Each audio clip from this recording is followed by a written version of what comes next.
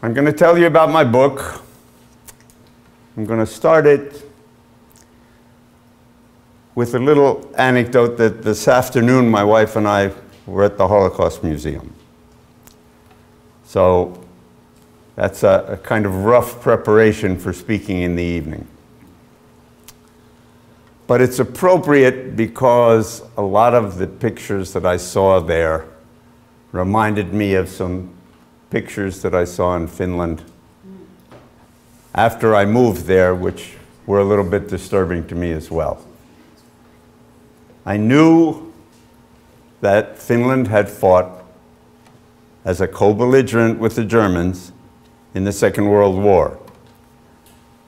But nothing, knowing that doesn't really prepare you for seeing things like Nazi flags flying on the main street of the city where you live. Um, I, of course, didn't see those, but if I had been living in Helsinki at about the time I was born and walked out in the street, that's what I would have seen. The other picture here shows German and Finnish generals, two of each, plotting the invasion of the Soviet Union across the Finnish border in 1940. The invasion was in 1941. Those things were in the back of my mind when, in 2009, I published this book, which was a biography of a Finnish industrialist named Pekka Herlin. And the day after it was published, my editor said to me, I saw something in the paper today that you're Jewish. Are you Jewish? And I said, yes. And he said, um, gee, I didn't know that. Said, okay. Um, you might be interested in this book, which I helped to write. Title of that book is Tell Your Children About It. It was written in the early 1990s in response to a, a conference that was called by the Prime Minister of Sweden, who felt that the Nordic countries were not addressing the issues of the Holocaust in the Nordic countries in schools. The children were not learning about what had happened. And I said, thank you very much, and took the book and went home and began to read. And he had written the part about Finland, so I was particularly interested to see that part, of course. But it started with Norway. And I knew a little about Norway as, as people coming out of American schools probably do, that during the war there was a Quisling government that collaborated with the Nazis, that there was also a resistance movement and a lot of fighting back and forth, but that about half of Norway's Jews were deported to death camps. Then I went on to Denmark. And people tend to know a little bit about Denmark as well, that in their rush to get through Denmark to Norway, the Germans allowed the Danes, who mobilized very quickly and very actively, to get 90% of the Danish Jews out of the country and into Sweden and safety. I got to the part about Finland. I started reading, and he said that these three Finnish Jews, two soldiers and one member of the Women's Auxiliary, had been awarded Iron Crosses by the Wehrmacht during the war. I said, no, that, couldn't have happened. The Wehrmacht didn't award medals to Jews. It killed them. But he said three openly Jewish participants were awarded these medals for bravery.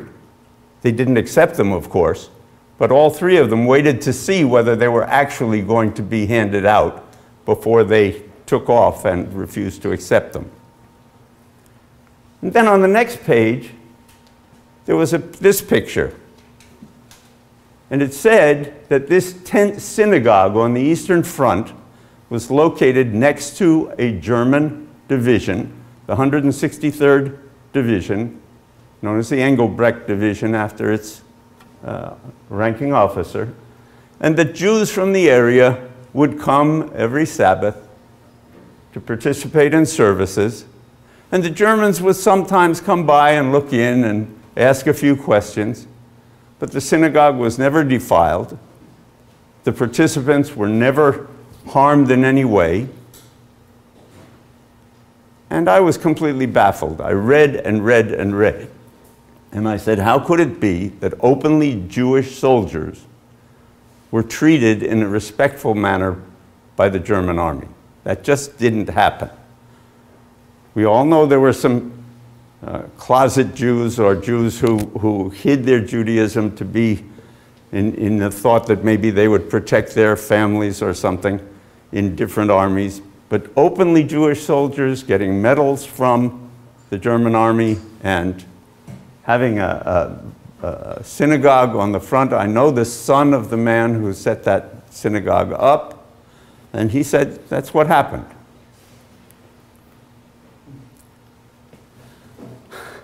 I wanted to find out why and how that could possibly be. It took me seven years, and I thought the only way I can really do it is to write about it. Research it and write about it. And I wrote it not for the Finns, but for you. I wanted to be able to tell this story to people who only saw the pictures that I showed in the beginning and said, well, the Finns were on the same side as the Germans, so they must have been bad guys. And in order to do that, I have to tell you more about Finnish history and the history of Finnish Jews than you probably want to hear, but I'll try to do it quickly. Over here, Sweden's over here, Russia's over here, and this is the bottom half of Finland. Except when this map was made, there was no such thing as Finland. For 600 years, until 1808, Finland was simply eight eastern provinces of Sweden. It was part of Sweden. It really, if you were right, making a map in, in Latin, you would put Finlandia. But when talking about it, it was just part of Sweden. In 1808, that changed uh, because although there had been numerous wars over that 600 year period that those eight provinces were part of Sweden, they just went back and forth. One side took some land, the other side came and pushed them back. But in 1808, the Swedes, the, sorry, the Russians came and pushed the Swedes all the way back to where they are today. The picture here, the painting, shows Alexander I, Tsar of, Swe of Russia, speaking to the Diet of Porvoo, the government, the, the kind of local government uh, that handled local matters in Finland. And what he's saying is, if you will be loyal to me, if you will protect your territory against invasion from Sweden or from Germany and thereby protect our borders, you can keep your laws, your language, your religion, your property, your privileges. That didn't usually happen when somebody conquered territory. Usually they imposed all those things. But the Finns were Protestant, not Eastern Orthodox. They spoke Finnish, not Russian. All of those things, the Russian law was a very primitive law compared to the much more modern Swedish law. So the Finns were delighted. And they said, we would protect you anyway because we don't want anybody attacking through our, uh, our land. We're going to protect our own borders. So they had a deal. Loyalty for maintaining the status quo. There was a problem, though, for the Jews, and that was that the old Swedish law, 1686, Swedish church law, said people in, Sw in Sweden could practice any law that they, any religion that they wanted, so long as it was Protestant. no Jews allowed. So at the time Alexander was talking, there could be no Jews in Finland. The old Swedish law remained in force. So, in fact, for a long time afterwards, the law said no Jews were allowed in that territory, in Finland. Where did the first Jews come from? Well, you probably could figure it out. They came from the Pale of Settlement, that area to which Jews had been driven from starting in 1492. Columbus went west, and Alexander, uh, Alexander um, Isabella and Ferdinand, and the Inquisition pushed the Jews out of Spain and Portugal to the east. And then they were later pushed further east out of Italy, out of France, many out of Germany. They traveled to what is now Eastern Central Europe, and they were probably going to keep going, some of them, until Catherine the Great said, wait a minute, we don't want them in Moscow. So she set up a border on the other side. So the Jews were packed into that area, millions of them. Many of them were working as um, administrators on the land or in the businesses of Polish nobility, not very well educated, not able to deal with numbers very well, and not wanting to go out themselves and collect taxes. These were somewhat better educated people who were able to do those things. So that's where they were. They lived in shtetls, in poor communities. Most of them were poor tradesmen, tailors, tanners, carpenters, what have you. Not rich people, not powerful people. They couldn't own land, they couldn't own businesses. They had to do what little they could with their hands to make a living if they were not employed as administrators. administrators.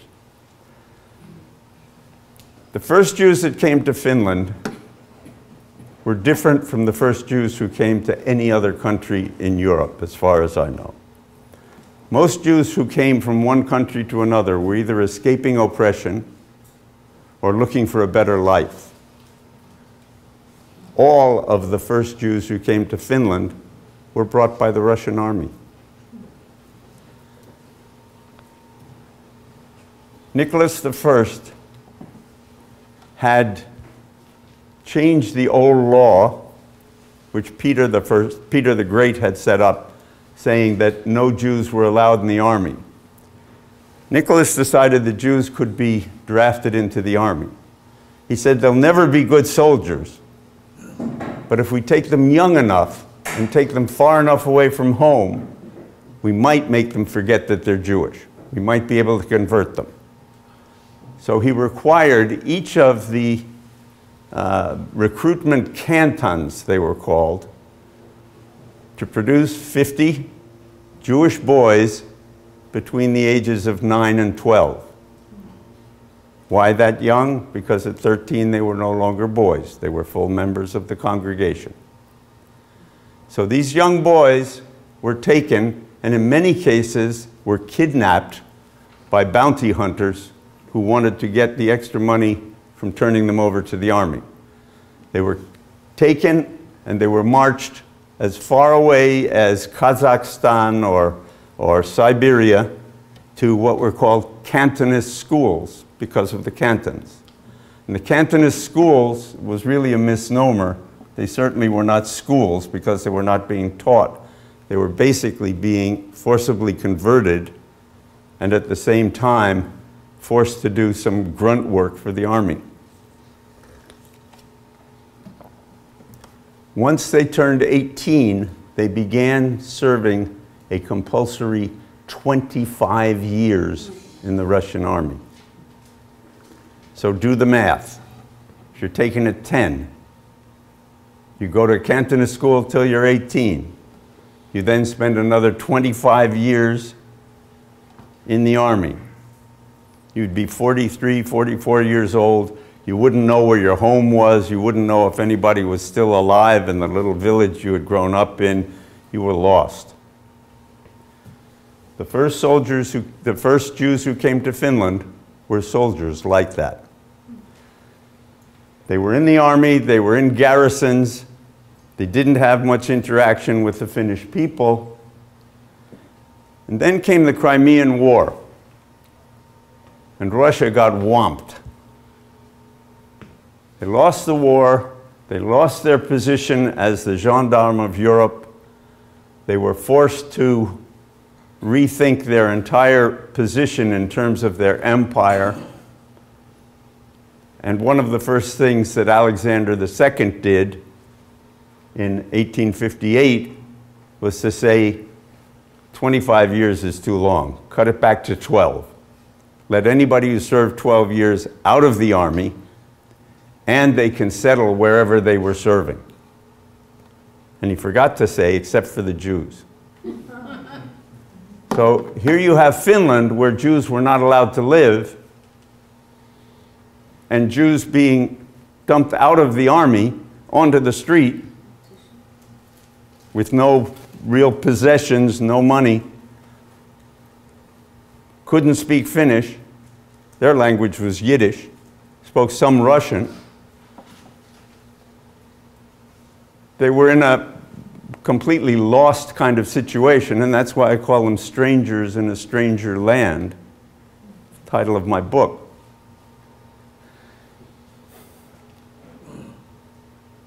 What kind of place did they come to? What was Finland like in the mid 19th century? was an agrarian economy and a fairly primitive one. 95% of the people lived in the countryside. Worked the land, they had to clear, it was, it, it was either forested land where they had to cut the trees, clear the brush, pull the stumps to try and farm, or it was swampland that they had to drain and then try and turn into farmland.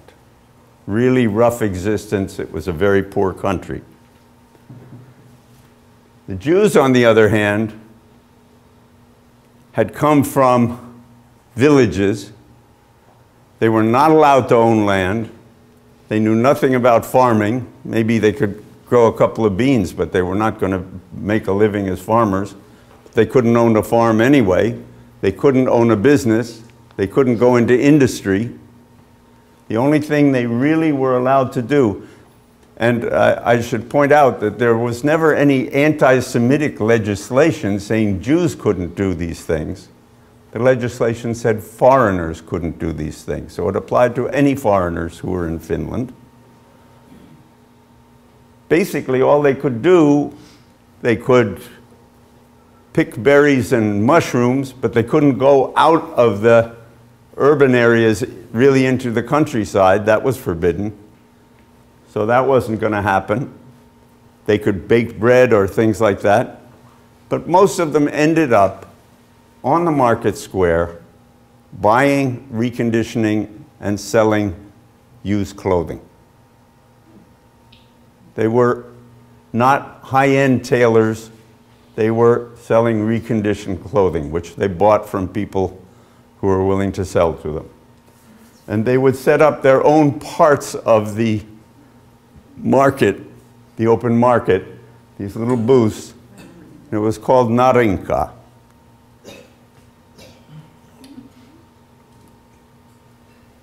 During the first 50 or so years, when Finland was an autonomous Grand Duchy of the Russian Empire, the Tsar had the loyalty of the people. And his desire was to pull them away from Sweden, away from the Swedish culture, the Swedish language, from their ties to the Swedish monarchy. About the middle of the century, they had already begun to have their own currency, their own postal system. There, was even a customs border with Russia along the, the Russian border. And the Russians looked at that and said, wait a minute, you mean we can't go into part of our own country and pay with our own money, or we can't send a letter home with our own postage stamps. That's not right. The Jews on the, the Jews, sorry, the Finns on the other hand, looked at the situation and they said, in the words of one uh, famous patriot, we're no longer Swedes. We don't want to be Russians. Let's be Finns. But what did it mean? It was a place without a history. There was no such thing as a Finnish history book. It was a place without an art museum or a, a, a literature of its own. It was a people that really had to be made. That they had to get together and they had to decide we're going to take what we can out of the common culture of the way in which people do things every day and turn that into a nation. The Russians, of course, took one look at that and said, um, You may think so, but you're still Russian and you're going to do what we say. And we started a, a, a period of increasing repression. Higher taxes, forcible conscription, all the kinds of things that a country does when it wants to tighten the grip on one of its, uh, one of its peoples.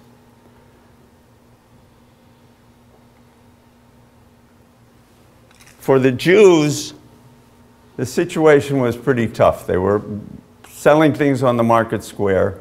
They had to renew residence permits every three months. They couldn't go out of a few cities. Sweden had had a law that said that, that Jews could only live in Stockholm, Norrköping, and, and Gothenburg. And the Finns copied that and said they could only live in Turku, Helsinki, and Viipuri. Now, it wasn't such a bad law because, in fact, the Jews who had been released from the army in little garrison towns up in the north, they couldn't get a minyan together to hold a service. They needed to come anyway to where the other Jews were, so they came to the cities pretty readily.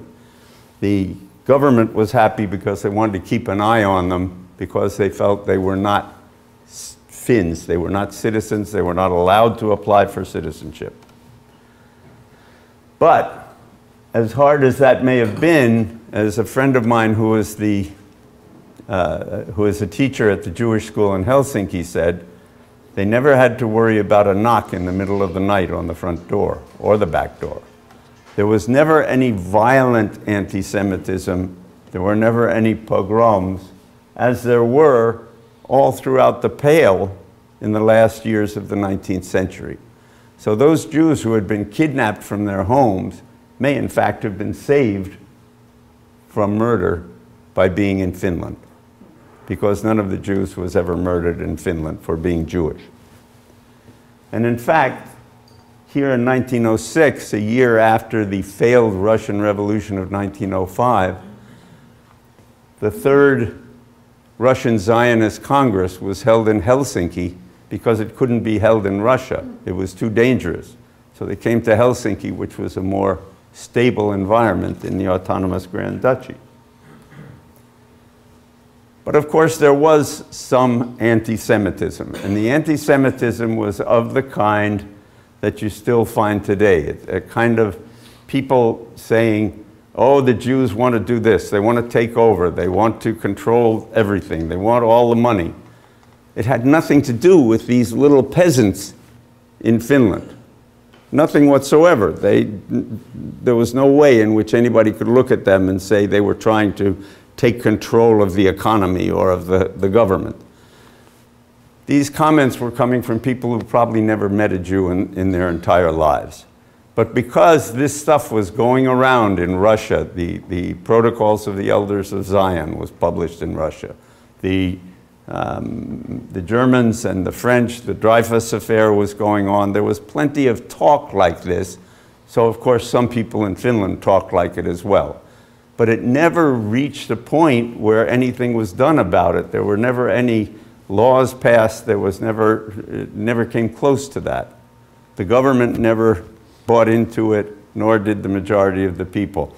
Most of the people who had anything to do with Jews felt that they were providing a good service by refinishing, refurbishing these, um, used clothes that, that they needed because people were moving to the cities and they long, no longer made their own clothes as they did in the countryside, and they couldn't afford to go to the fancy tailors whose prices were too high. So most of them felt things were, were perfectly okay. Now, strange things were happening. Remember, no Jews were allowed to live in Finland. That meant, of course, that there could be no Jewish congregations, there could be no Jewish services held. 1901, the city of Helsinki gave a plot of land to the non existent congregation to build a synagogue. They said you have to finish it in five years, which they did. And when it was ready, all of the high government officials from Finland came to the opening. Six years later, the other two cities, Turku and Viipuri, also had really fine synagogues. How did this happen? It happened because the Russians and the Finns all the time were trying to show which one was the boss. So if there was something that was in Finnish law that you couldn't do, the Jews would go to the Russians and say, hey, our grandfathers were soldiers, our fathers were soldiers in your army, we were loyal to you, and now the Finns are bothering us. Tell them to stop this. And the Russians would say, okay, this is a chance to show the Finns what we think. And if the Russians did something, the Jews would go to the Finns and say, hey, we've been living here for a long time. We don't cause any trouble. We pay our, our uh, residence permits and things. Please tell the Russians to give us a break. And they would do it. So they had this funny situation where the Jews learned to navigate through that morass. And little by little, some of them began to get off the market square and into the middle class. The main way of doing this was that um, the first kind of ready to wear clothing had begun to be developed. It started off that the first ready to wear clothing was made for the military. In the old days, you, if you were a soldier, you had to go to a tailor and get your uniform made. But that wasn't practical when they started drafting lots of people, so they had to start making underwear and, and uniforms and all the rest of it. And then when the military was cut back, there was excess capacity. And those tailors, some of whom were Jewish, started looking around and saying, maybe if we made some things that were a little nicer than the used things that we fixed up, people would buy them. So they began to develop a trade in ready to wear, and they were able to get some more money in. But they still couldn't open shops in their own name.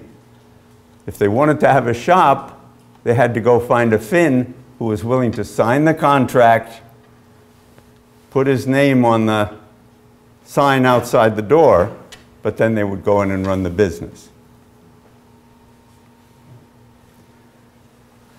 Along came World War I, and things got tough for everybody in Finland. The Baltic was closed off because there was fighting on it between the Germans and the Russians. So no exporting to the West. And then in 1917, the Russian border was closed off. Russian Revolution, and it was completely sealed. So they couldn't export to the west or the south through the sea. They couldn't export to the east, to Russia. The only place they could export to was Sweden. But Sweden makes all the same things that Finland does, so they didn't need any of it. So the economy really took a nosedive. And with it, those Jews had come up into the middle class. Many of them lost their money and had to start all over. But there was a silver lining. And that silver lining was that the Finns looked across the border and they said, the Russians seemed to be pretty busy fighting each other. They'd even taken most of their soldiers home from the garrisons in Finland to fight on the white side. And the few who were left in Finland weren't particularly interested in Finland, what was happening there. They were more interested in what was going on back home. So the Finns said, guess what? We're independent. Didn't have to fire a shot. Just announced on December 6th, 1917, we're the Republic of Finland. However, what followed was not so easy and not so pretty because the same kind of fight between the landless peasants and exploited industrial workers, on the one hand, the Reds, and the landowners, industrialists, students, on the other hand, the whites, broke out, and there was a three and a half month civil war. Bloody, nasty civil war. It usually wasn't brother against brother because the issue was an economic one, so the brothers probably were either in the upper or the lower group. But it divided villages, it divided the whole country in half. At the end of the, the war, in the spring of 1918, there were 20,000 dead, 30,000 of the Reds had either fled or been forced across the border into Russia, which was now the Soviet Union. And 80,000 were captured and were in prison camps that were pretty awful. 18% of those in those prison camps died. Some from starvation, some from execution, but a lot of them from the Spanish flu. After the Civil War, remember we have a country that had just proclaimed independence, and for the first four months of independence, it hadn't been able to do a thing. It was too busy fighting itself. At the end of that period, there was a real need to start building that country, that country that was only kind of imagined. But in order to do that, they had to bring people back together. They had to find a way to put Humpty Dumpty back into its shell. For the Jews, a strange thing happened. 1909, a uh, proposed piece of legislation said foreigners should be able to apply for citizenship. But in 1909, it couldn't become a law unless the Tsar signed it, and he never did. In 1918, the same law was passed very quickly among the first bits of legislation by the Finnish government. In any history book, you will see that the Romanians and the Finns were the last countries in Europe to allow Jews to apply for citizenship. But if you look at it the other way, among the first things they did when they can make their own decisions, the Finns made it possible for foreigners, including the Jews in their midst, to apply for citizenship. And by 1920, there were the first Jewish citizens of Finland. With that, the Jewish communities began to flourish. They began to do all the things that Jewish communities tend to do any place in the world when they have the opportunity. They started to have sports teams, they started to have uh, cultural societies, choral societies, Yiddish theater, community centers, even Jewish schools. They were very much inward looking. First of all, it was a very orthodox group, so they had to live very near the synagogues because in Finland the winters are pretty rough. You don't want to walk many miles to go to shul on a Sabbath. So they were all living in the same place. All of these activities were internal activities to the Jewish community. They still didn't feel very confident going out and spreading into the larger community to do all kinds of things. Business was the only point of interaction for many of them. But business they did. Finland was starting to get wealthier. Through the export of lumber, paper, and pulp, they were able to get up to the point where they were about the median of European economic development. They were no longer a poor country. They weren't a rich country, but they were doing much better.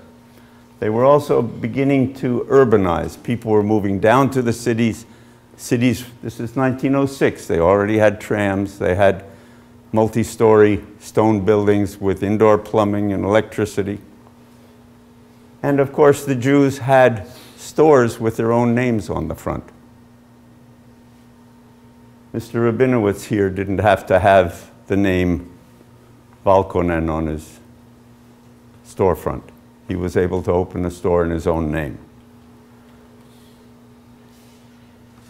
But as the 20s wore on and approached the 30s, the same radical tendencies that were sweeping throughout Europe and were also present in this country, if any of you remember, were seen.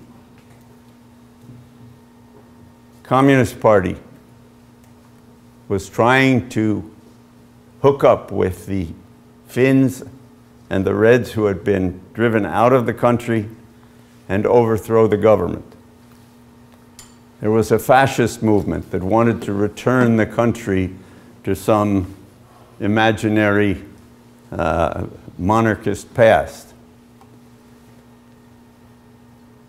The difference between Finland and all the other countries of Europe is that this never happened.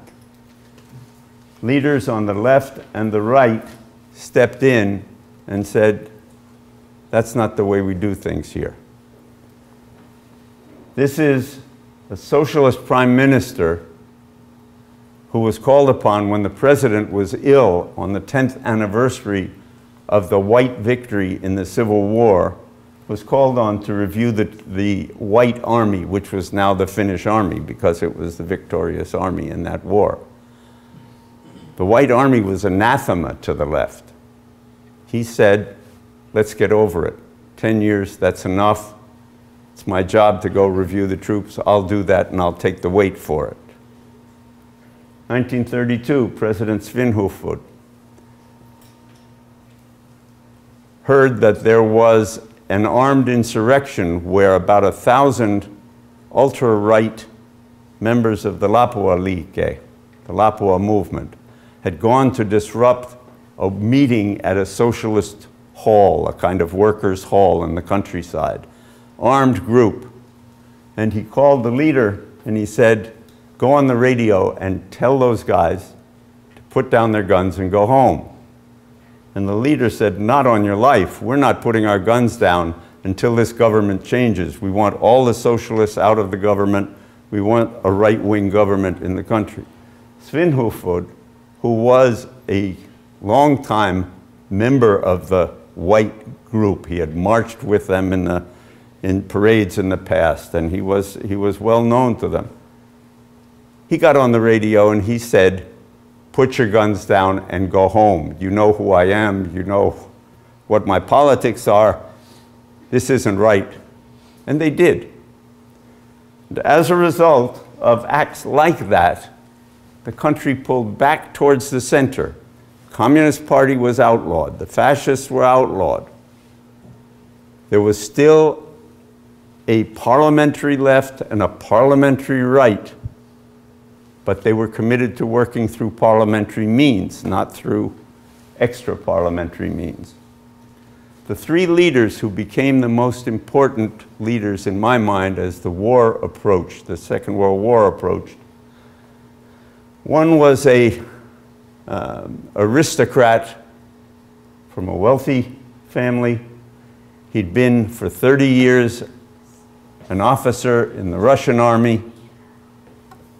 He had been a monarchist, and he was the one who rebuilt the army and prepared for the war. Carl Gustav Emil Mannerheim. On the left, Väinö Tanner, one of the original members of the Socialist Party, in Finland, founder of the co-op movement, minister for many years in many different roles, son of a brakeman on a railway. And in the middle, Risto Ryti, who was president for most of the wartime.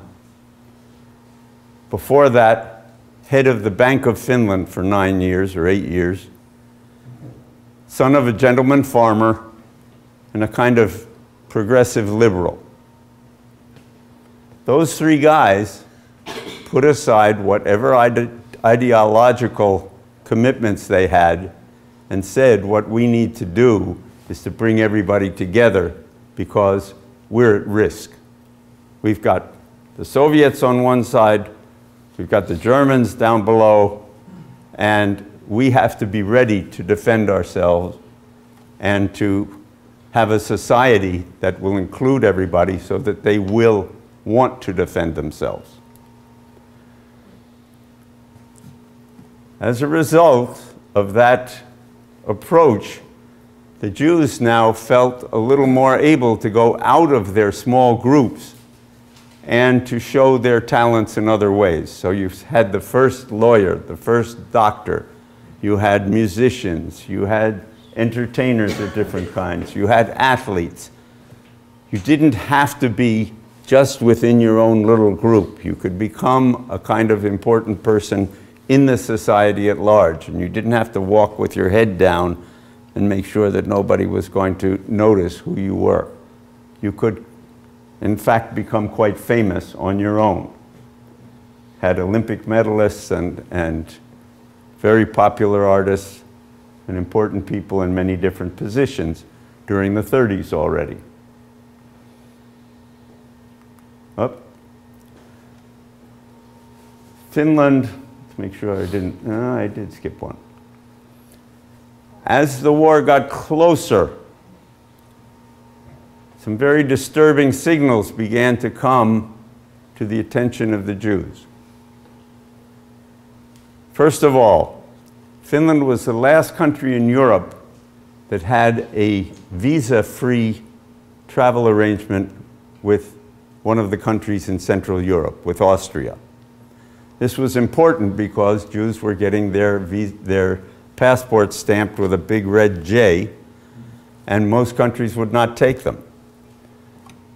Those Jews could go to Austria, come to Finland, and from there, most of them were trying to go to the United States or to Palestine or to South America, somewhere else. They weren't really interested in settling in Finland, but that was the port of, Uh, of passage to the west or the south.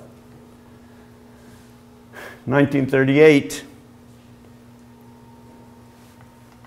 Minister of the Interior, Kekkonen, who later became president of Finland, longtime president, came to the harbor and turned away a ship full of refugees.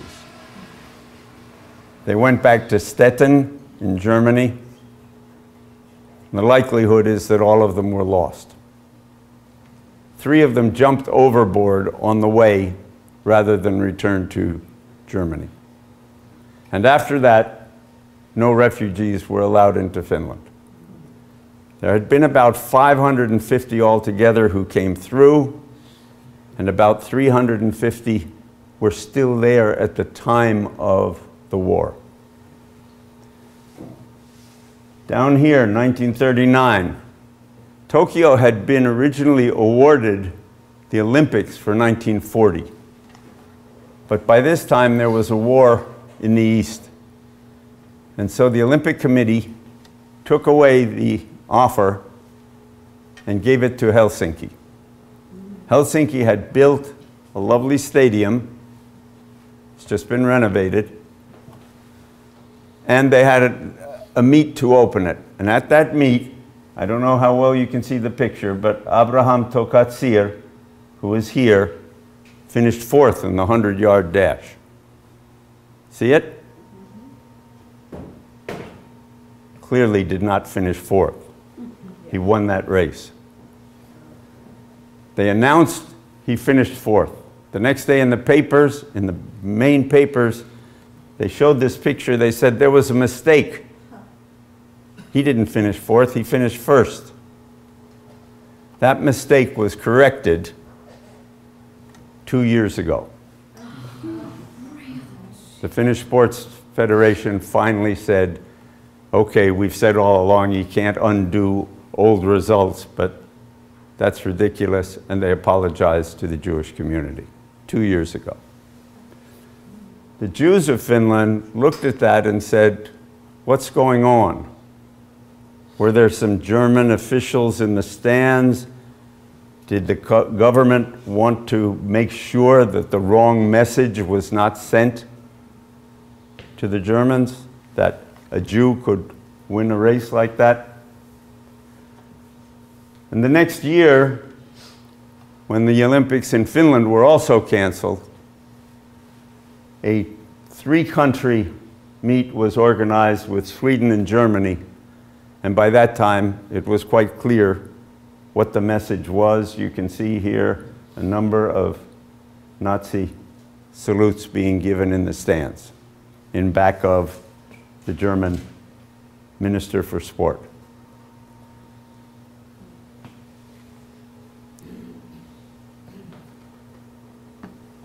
World War II was just one war in most places. In Finland, it was three. Some of you have heard of the Winter War. Three and a half month long war. Started 26th of November, a Russian, um, some kind of platoon was shelled at the border at Mainila. The Russians said, the Finns have attacked us. He didn't explain why a country of three and a half million would attack a country of 160 million, but they insisted that's what happened.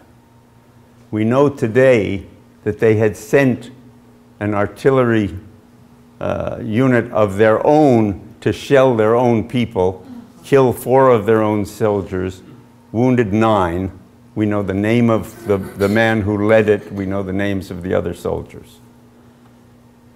Complete fabrication and provocation. They were not too long after that thrown out of the League of Nations for doing that. That didn't help. On November 30th, 1939, they bombed 16 Finnish cities and sent troops over the border with marching orders and a guidebook that Stalin had printed, which said that they would march across Finland in two weeks, reach the Swedish border, and be sure not to cross the Swedish border or violate that. They didn't want to offend the Swedes. But in two weeks, they would, they would wipe out Finland. Well, they fought for three and a half years, three and a half months, excuse me, and they only got a little ways into Finland. But they did manage pretty much to exhaust Finland's food, ammunition, and men. At the end of three and a half months, for, year, for reasons that are not entirely clear, Stalin agreed to a truce. It's a good thing he did because Finland probably could not have held out much longer. Where was the help? Finland did not expect to be able to fight off Russia. They were only trying to hold them off long enough for help to come from the West. Help never came, and we'll see shortly one of the reasons why. During the 19th century, when the Jews were trying to get citizenship status and failing, they said we are getting old. We were soldiers in the Russian army, but our children were born here and our grandchildren. If you will give them citizenship, we are sure that they will fulfill their duty as diligent and faithful citizens when called upon. And in the Winter War, they did. As far as I know, all the Jews who were called up to fight in the Winter War went. There were many reasons for it, but one is surely that the entire congregation had, of, of each of the cities had gotten together and said to the soldiers, you really have to go. This is our chance to prove that we are loyal citizens and we can't afford to give any of those who don't like us the opportunity to say, see, they said they'd be loyal, but they're not. So all of them went, and they in fact paid a heavy price. 15 of the Jewish soldiers fell in the Winter War.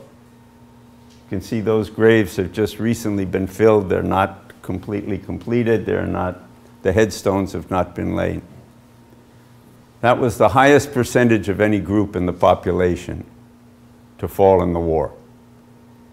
This picture is from the Independence Day memorial service at the Jewish cemetery in Helsinki in 1940.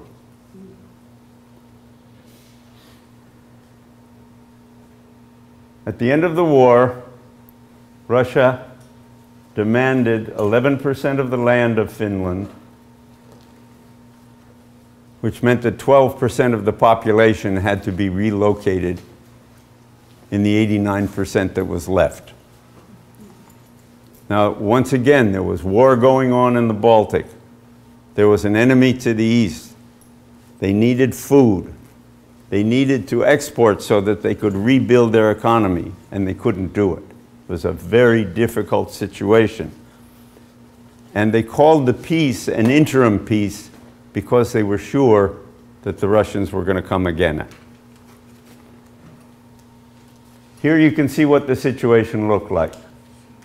To the east, everything that's red or pink controlled by the Soviet Union. Already in 1941, everything that's brown controlled by the Germans. What was Finland to do? Again, it had almost no food.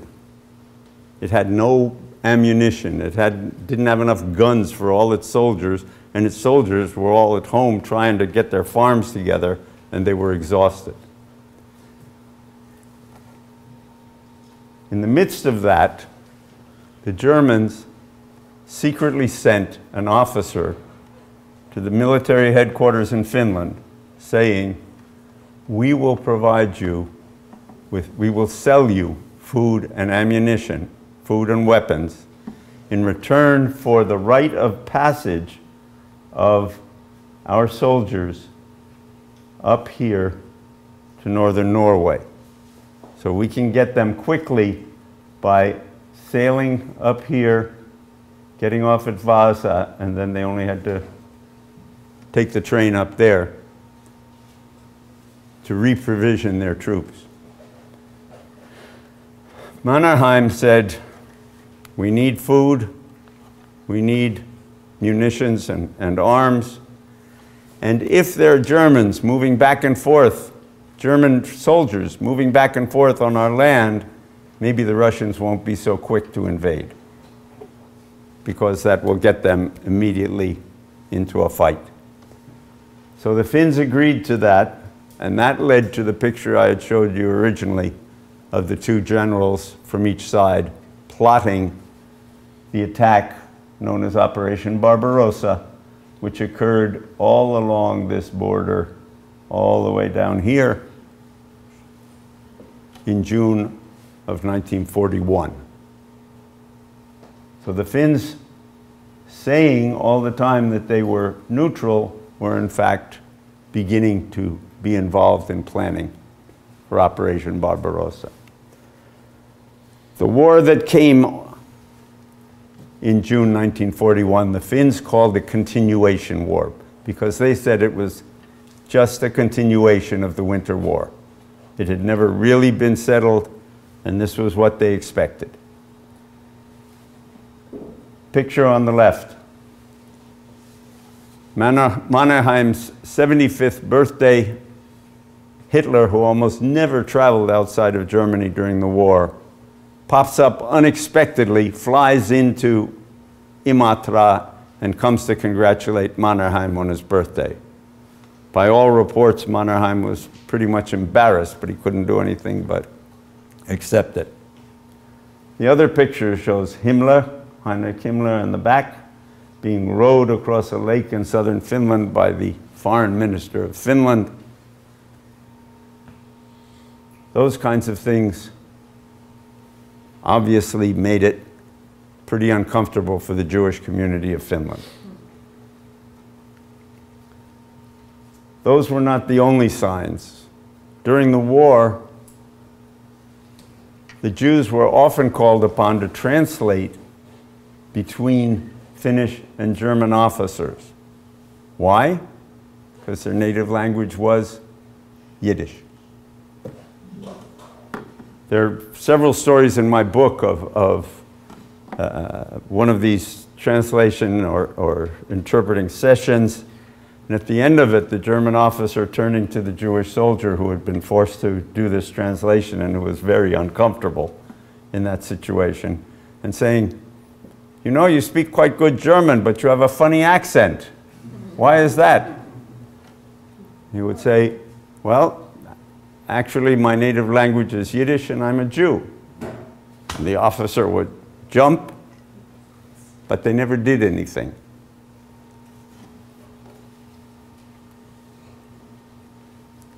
Samuel Maslovat, who was the son of the rabbi of, of Viipuri, said, My thinking went like this if Germany wins and we are destroyed, Germany would direct its hate only at the Jews and the gypsies and the like. But should Russia win, it would be a disaster for the whole country. Then we would be equal. I've had a kind of way of saying it that, that is a little like flipping a coin and saying, heads you win and tails I lose. But should the coin land on its edge and stand, then we would all survive. And that was the situation for the Jews but also for Finland as a whole. Terrible risk to the whole country, but also existentially to the Finnish, Finnish Jewish population. Now, during this entire war, not a single member of the Finnish Jewish population, the citizens of Finland who were Jewish. Not a single one was deported, not a single one was hurt, except those who died in battle, and they died from Russian bullets, not from German bullets. But there was one severe stain on Finland's reputation, and it had to do with eight of the asylum seekers who were still in Finland. Remember, I said there were a couple of hundred asylum seekers still in Finland at the time of the war. And the state police, which was one of the little nests of uh, pro Nazi uh, sympathizers, wanted to get some points with the Gestapo. There was no Gestapo in Finland, but they were in Estonia, right across the sea.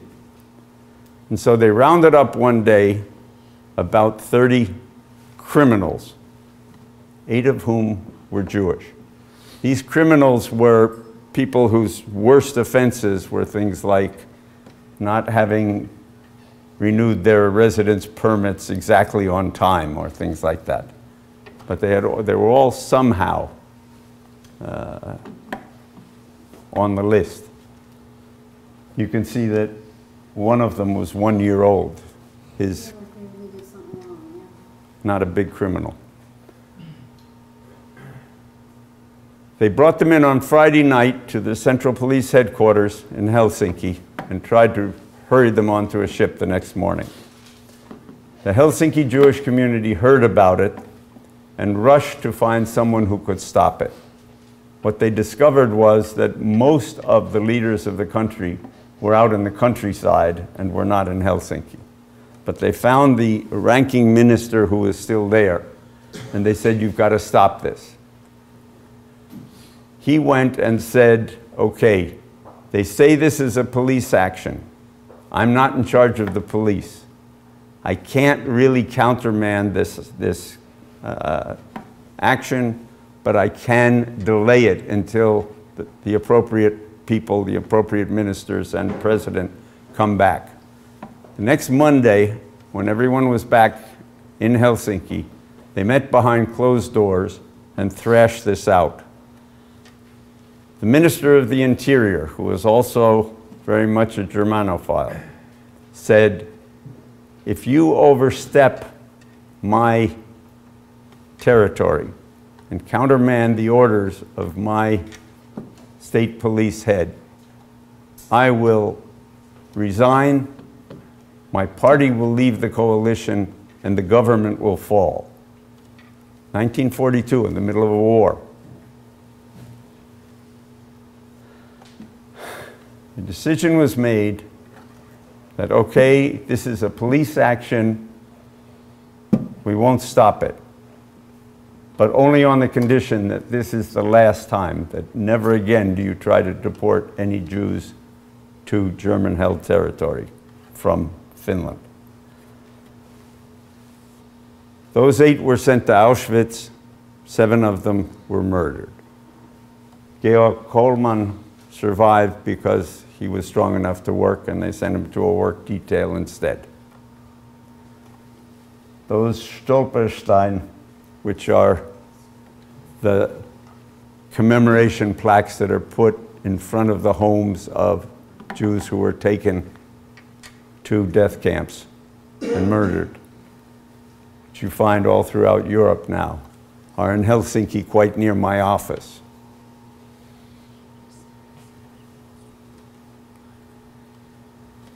The third war was called the Lapland War. After it was clear that the Germans were defeated, not totally, but that they could not really recover, they began withdrawing.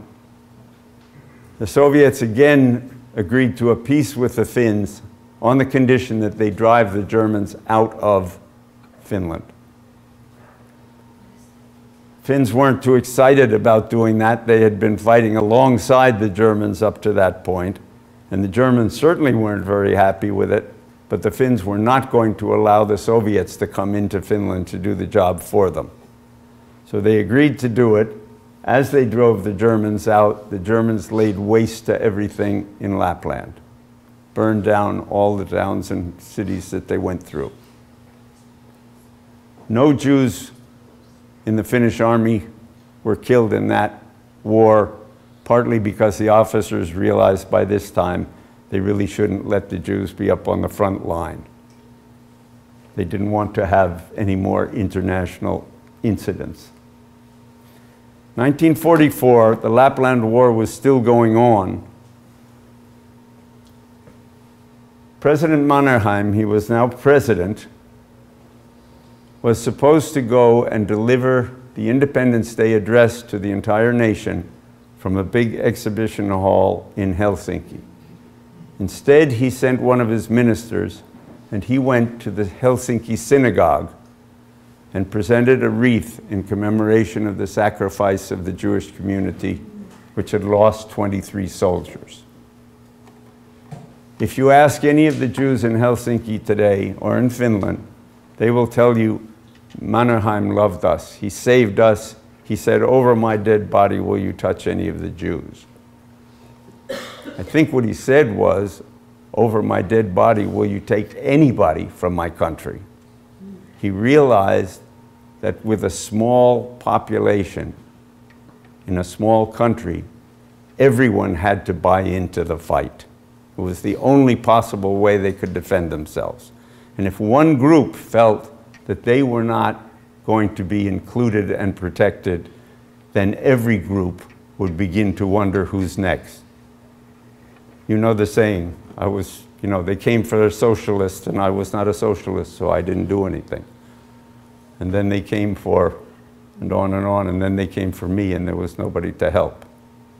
So, same thing, everybody either all in or suffer the consequences. The other thing I think he was doing was he was talking to us. He was saying, after the war, I realized that countries will be viewed to a large extent, by how they treated their Jewish population.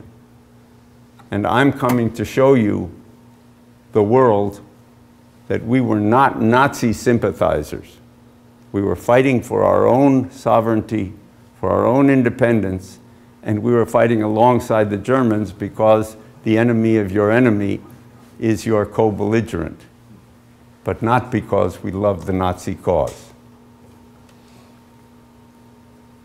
Here are the figures from Yad Vashem showing how many Jews were murdered from each of the populations of Europe, the, the combatant populations.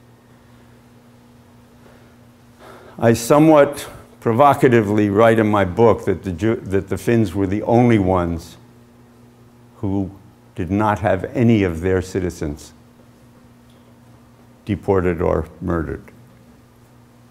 The Bulgarians argue that they also didn't. And in a technical sense, that's true.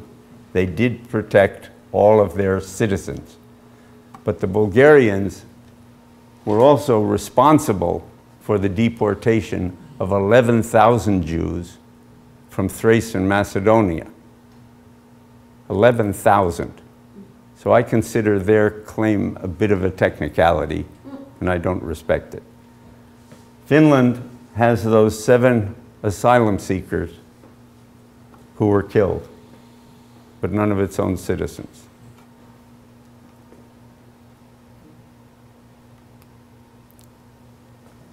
I've given you a pretty heavy dose of, of history now, and that's behind us. Um, but my book is, in fact, a novel. It has all of this historical context because I don't think you had the context previously with which to be able to understand what was happening in the novel.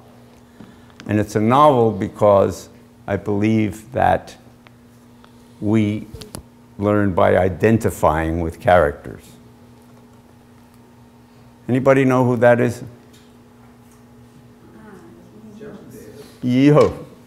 There's one person in every audience who knows it's Jefferson Davis, President of the Confederate States of America. Pretty important person in American history, right? Anybody know who these guys are?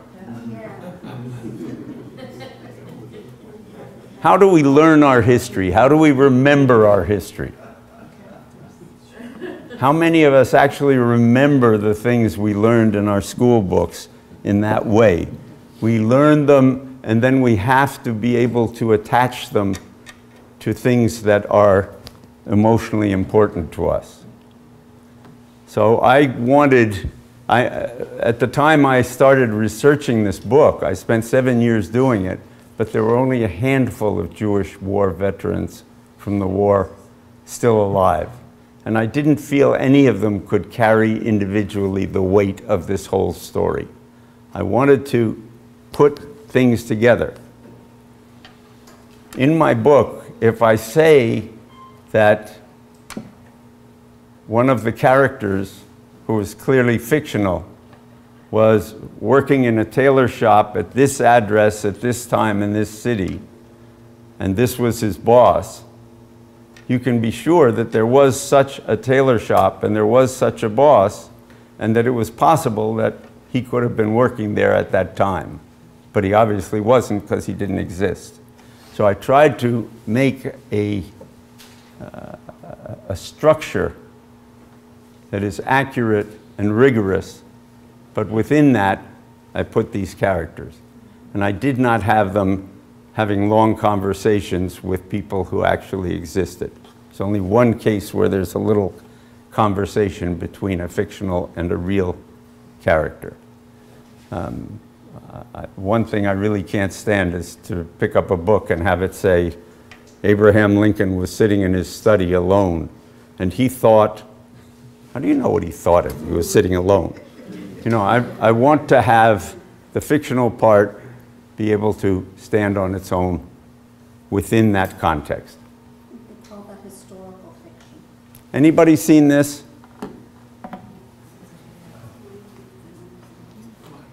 It says Finland is the world's happiest country. Again, And down here it says John Helliwell, Richard Layard, and Jeffrey Sachs did research and they came up with, they do this every year. I've been living in Finland now for about 36 years.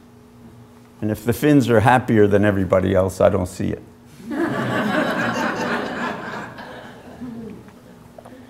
but I think I understand what they mean. I think it means if you live in a place where the respect for the rule of law has been enforced since the time the country was established,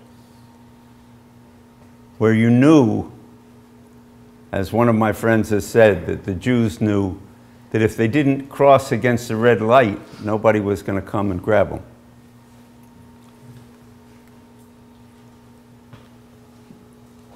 If you have powerful enemies around you, you realize that you have to include everybody in your society so that you can mount a defense. You include all the people because you can't afford not to. It's maybe not that they're any better or any smarter than anybody else, that's just a necessity.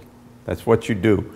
You can think of it in terms of a platoon being somewhere out uh, on the front line, and you send somebody out to, to stand watch at night. If you can't trust that he's going to stay awake and actually know if somebody's coming to get you, you're cooked. Same thing. You have to have everybody buy into the program to survive. If you have those two things, you can focus on solving real problems. You may have heard that Finland has a very good educational system. It's not an accident. They worked hard at it. They worked hard at it because they didn't have to spend a lot of time monkeying around with things that didn't matter.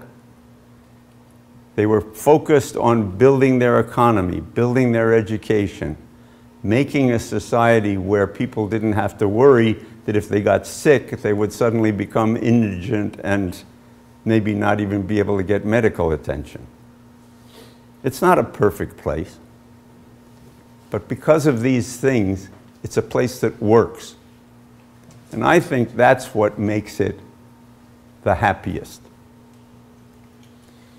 Thank you very much.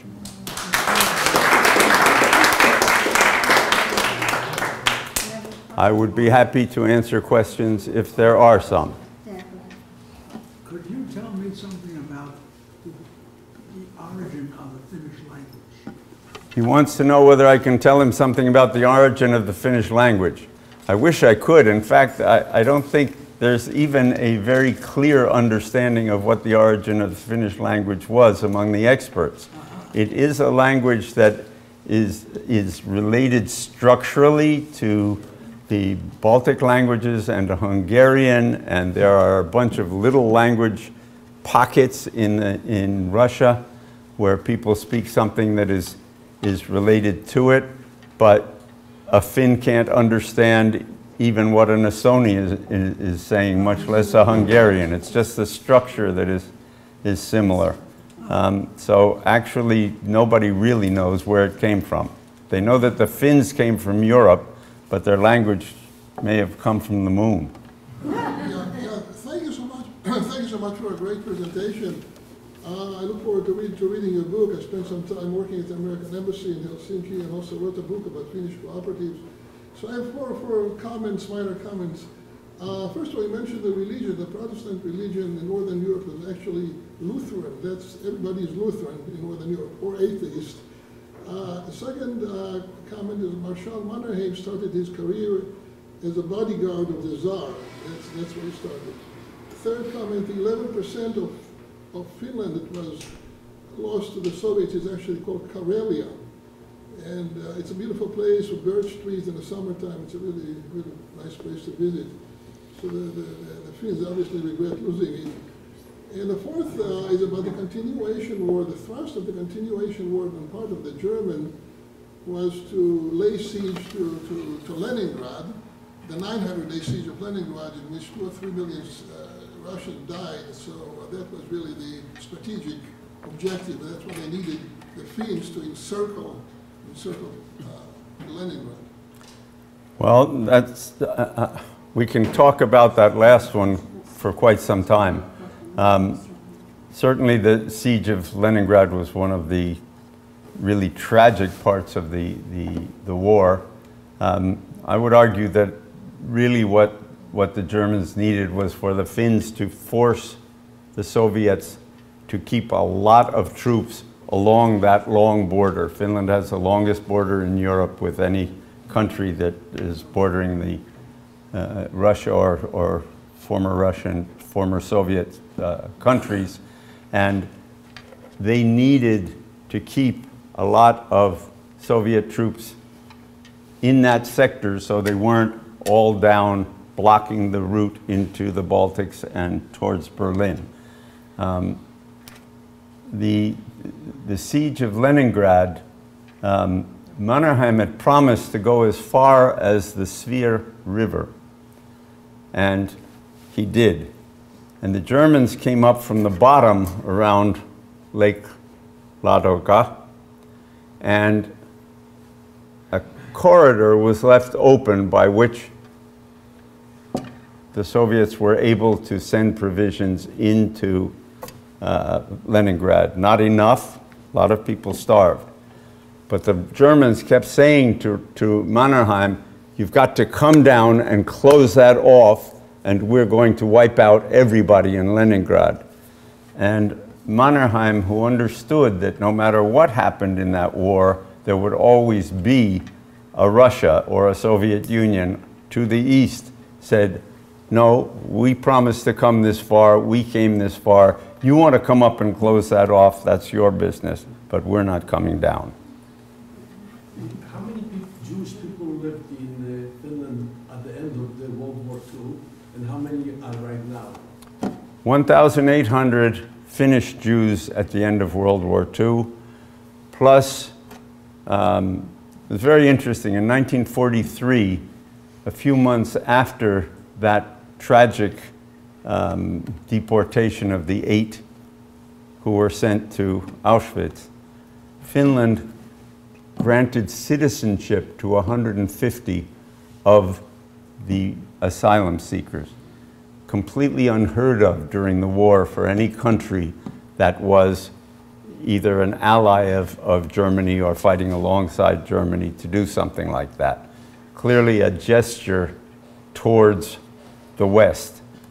Um, there were never more than 2,000 Jews in Finland, and now the official numbers of those, and depends a little bit how you define it, those who are, are members of congregations, is down to 1,200. Se severely diminished, not because of anti-Semitism, not because of, of uh, murders, or because of intermarriage. It's a very orthodox community, and it's very difficult if you intermarry, then your spouse has to be willing to go through the entire process of conversion for you and your children to be able to be considered part of the community.